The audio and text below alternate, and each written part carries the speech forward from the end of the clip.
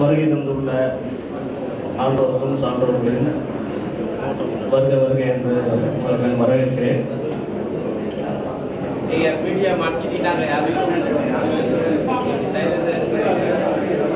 விழுப்புரம் வாழ் பெரியோர்களே தாய்மார்களே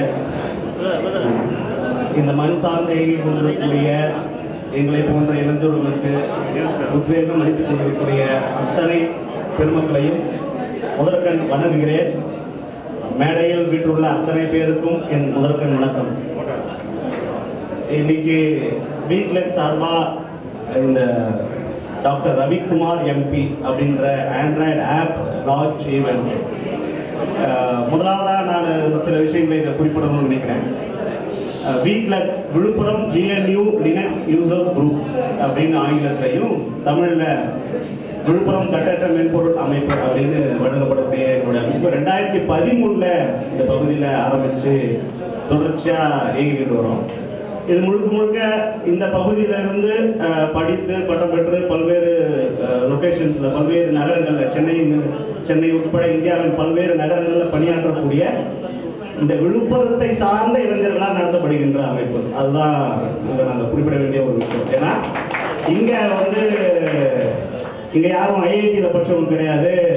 அல்லது எங்கள் நிறங்கள் வந்து பொன்னிறங்கள் கிடையாது. எங்கள் குடும்பங்கள் மிகப்பெரிய செல்வாக்கான குடும்பங்கள் கிடையாது. அல்லது நான் என்னுடைய பள்ளிகளும் மிகப்பெரிய பள்ளிகள் கிடையாது. எல்லாம் அரசு பள்ளியில் படித்த அரசு நிறுவனங்களில் படித்த இந்த மண்ணை சார்ந்த இந்த மலைநாட்டை தேசத்தை சார்ந்த இளைஞர்கள் தான் இந்த அமைப்பில் இருந்து இயங்கிட்டு ஏன்னா இன்னைக்கு இணையத்தில் பார்த்தீங்கன்னா இணையம் மற்றும் மென்பொருள் சம்பந்தமான ஒரு பயன்பாடு வந்து அதிகமாக நம்ம இன்னைக்கு இந்த காலத்தில் இருக்கு.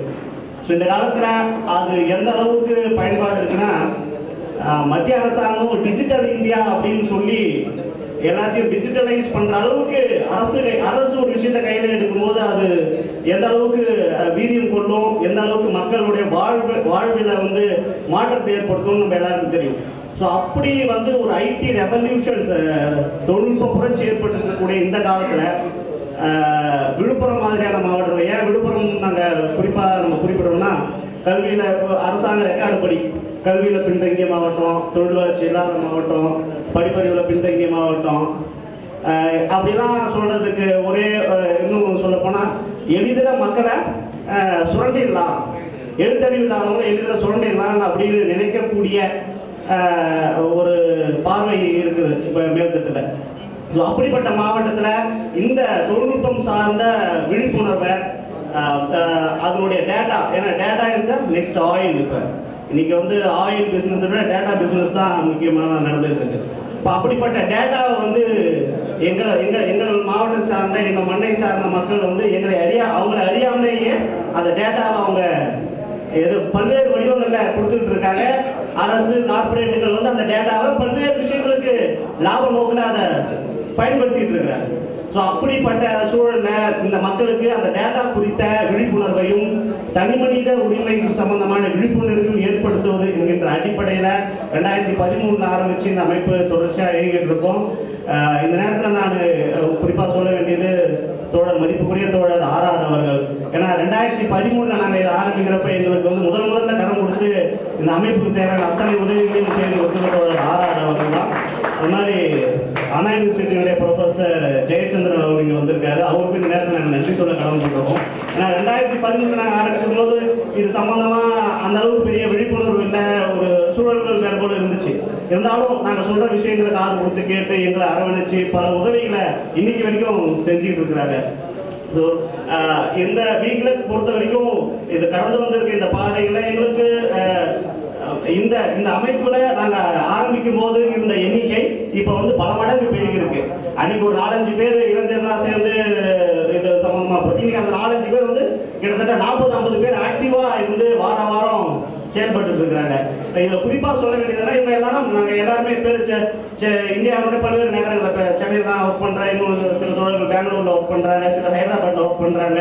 இப்படி பல்வேறு இடங்கள்ல ஒர்க் பண்ணாலும் வீக்கெண்ட் சனி ஞாயிறு மட்டும் விழுப்புரம் வந்துருவோம் வந்துட்டு இங்க எங்க இருக்கிற பகுதியில எங்களுடைய இது வந்து ஒரு அரசியல் செயல்பாடு தான் நான் மறைக்க விரும்பல. நாங்க செய்வது அரசியல் செயல்பாடு தான் இது வந்து வீக்கெண்ட் பொலிட்டிஷியன்ஸா தான் நாங்க இருக்கிறோம். ஏன்னா இன்னைக்கு வளர்ந்துருக்கிற யூத் மத்தியில யூத் வேலைக்கு போக வேண்டிய கட்டாய சூழல்ல அவங்க அஞ்சு நாள் அவங்க குடும்பத்துக்காக உழைச்சாலும் ஒரு ரெண்டு நாள் சமூகத்துக்கு உழைப்புங்கிற அடிப்படையில அப்ப அஞ்சு நாள் நாங்க வந்து போன்ல விவாதிச்சுட்டே இருப்போம். அதை படிப்பு இதை படிப்பு விவாதிப்போம். ரெண்டு நாள் களத்துல வந்து செயல்படுறது அப்படின்ற அடிப்படையில் தான் நாங்க இயங்கிட்டு இருக்கோம். இப்படிப்பட்ட ஒரு ஒரு யூத் செட் உருவாகிட்டு இருக்கு அப்படின்றத இன்னைக்கு இருக்கிற தமிழ் சூழலுக்கு புரிஞ்சுக்கிட வேண்டியது இருக்கு. ஏன்னா இளைஞர்கள் அரசியல்படுத்தப்பட வேண்டும்.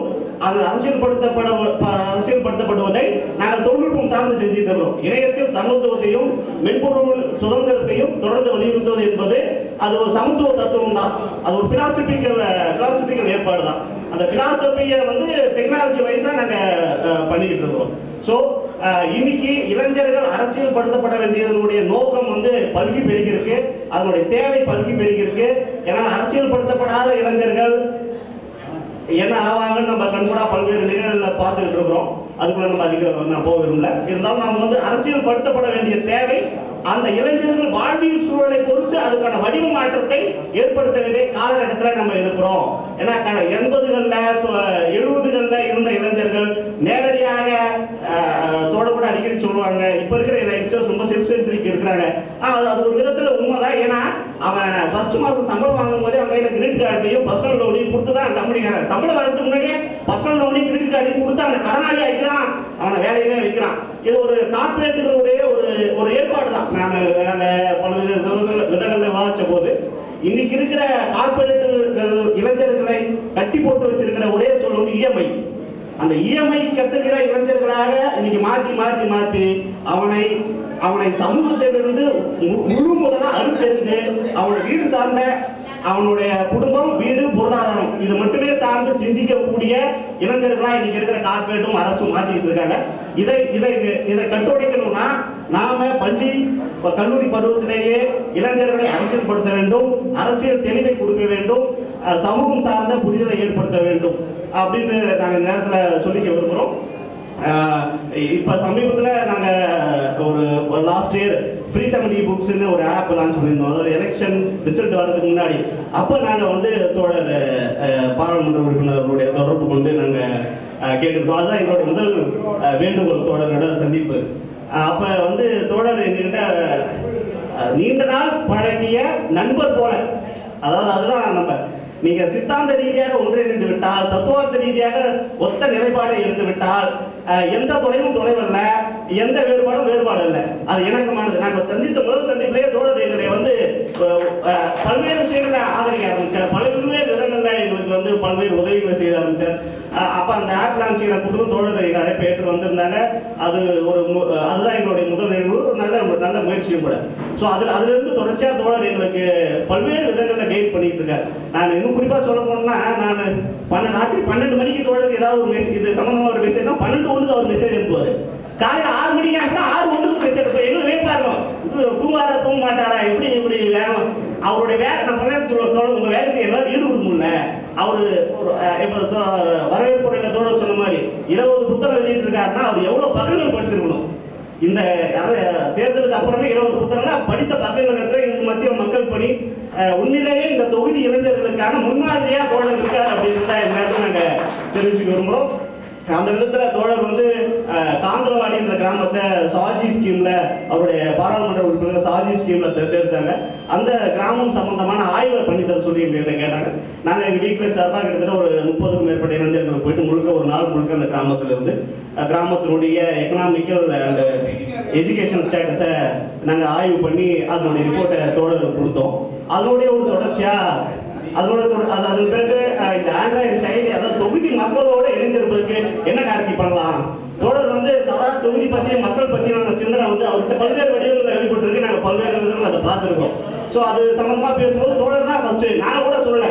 ஆண்ட்ராய்டு ஆப் உருவாக்க தோழர் தான் கேட்டார். தோழர் வந்து ஆண்ட்ராய்டு ஆப் ஒன்று உருவாக்குறாங்க? அது மக்களோட இன்னைக்கு இருக்கிற டிஜிட்டல் உலகத்தில் தோழர் சொன்னால் தொடர்ந்து மாதத்திலே நாங்கள் அதுக்கான பணியை தொடங்கணும் அது ஒரு அவரு அவர் டிசம்பர்லேயே கேட்டார் எங்களால் எங்களுடைய நேரமின்மை காரணமாக அதை செய்ய முடியாமல் போச்சு. இப்போ ஜனவரிக்கு லான்ச் பண்ணியிருக்கோம்.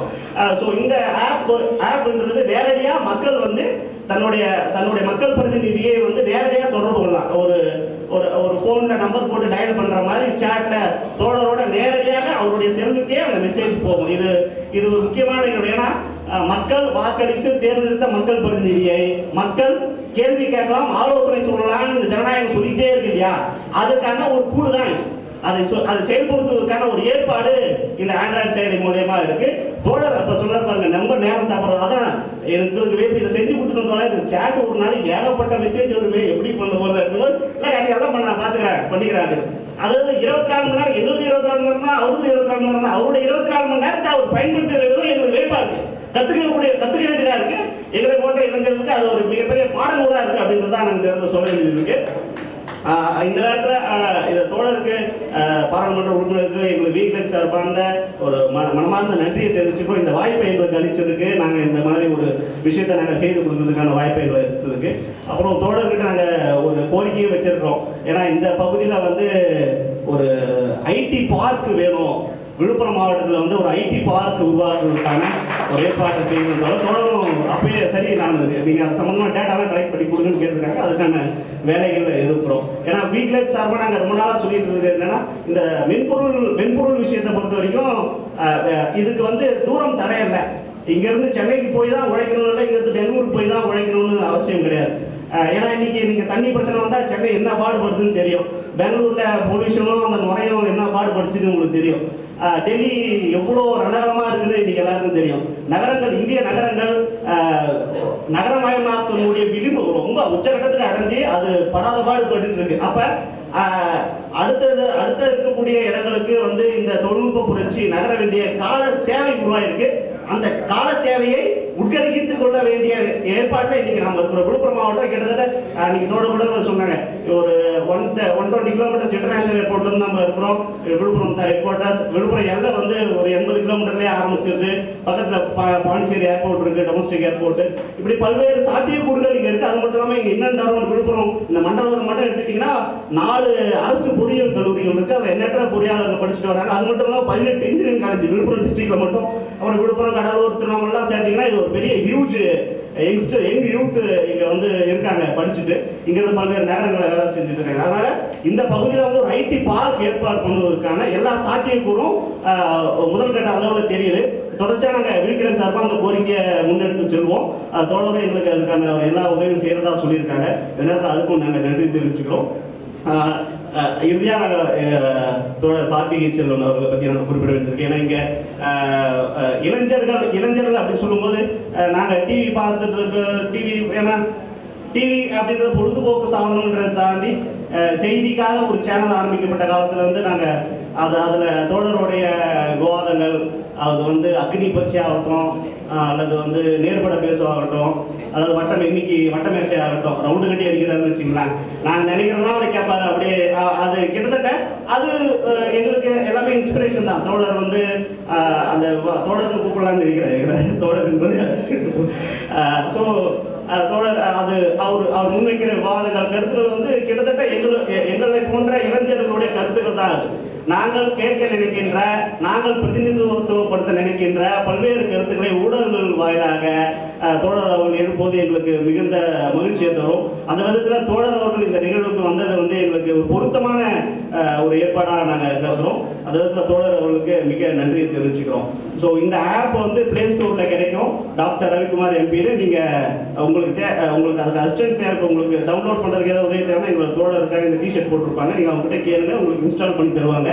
அதை எப்படி பயன்படுத்துறதுன்னு சொல்லுவாங்க. ரொம்ப எளிமையான ஒரு ஏற்பாடு. அது முதல்ல நீங்கள் இன்ஸ்டால் பண்ணப்போ அது உங்கள் செல்ஃபோனில் பதிவிறக்கம் செய்யறதோ ஒரு அடிப்படையான தகவல் உங்களோட பேர் ஊர் கான்டாக்ட் நம்பர் அப்புறம் தொகுதி அதாவது சட்டமன்ற தொகுதி எது அப்படின்றதெல்லாம் கேட்கும். அது எதுக்காக அதில் ஒரு பாதுகாப்பு வசதிக்காக இருக்கு ஏன்னா செக்யூரிட்டி ஃபீச்சர்ஸ்லாம் இருக்குது அதுக்காக அதை வச்சுருக்கோம் அந்த டேட்டா வந்து ரொம்ப கான்ஃபிடென்ஷியலாக தான் நாங்கள் கீப் அப் பண்ணுறோம் அந்த டேட்டா ப்ரைவசிக்கான எல்லா நாம்ஸும் உட்பட்டு அந்த டேட்டா மெயின்டைன் பண்ணுறோம் ஸோ அதற்கு அந்த ஆப் இன்ஸ்டால் பண்ணி நீங்கள் உள்ளே போனீங்கன்னா ஒரு மூணு விதமான காலம் உங்களுக்கு தெரியும். நியூஸ் ஃபீட் அப்படின்னு சொல்லியிருக்கும் தோழரோட தினசரி செயல்பாடுகள் ரிஃப்ளெக்ட் ஆகும். அப்புறம் வீடியோன்னு ஒரு காலம் இருக்கும். அந்த வீடியோ காலத்தில் தோழரோட உரைகள் பாராளுமன்ற உரைகள் ஒரு டிவி விவாதங்கள் மற்ற அவர் கொடுக்குற பேட்டிகள் எல்லாமே அதில் லைவாக அப்டேட் ஆகிடும் அப்புறம் மூணாவது சேட் முக்கியமான அம்சம். சேட் என்பது நீங்கள் நேரடியாக பாராளுமன்ற உறுப்பினருக்கு கோரிக்கைகளையும் ஆலோசனைகளையும் வைக்கலாம்.